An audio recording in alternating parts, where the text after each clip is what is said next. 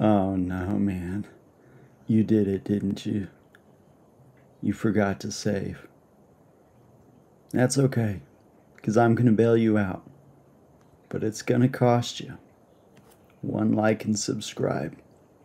Alright, so what you got to do is you got to go to, just go to the Finder. And what you need to do is pull up your file. So mine is called Plain Jane.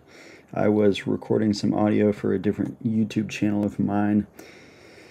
And I forgot to save, so what I ended up having to do is you control click on your, your project and you go to show package contents.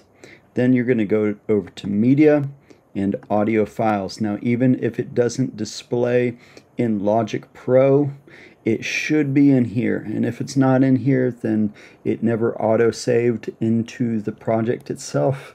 I'm very sorry, sir, but it's gone for good. But hopefully you can retrieve your files. And if you did, give me that like, bro. You give it to me right now. Yes, you. All right, y'all. Have a good one.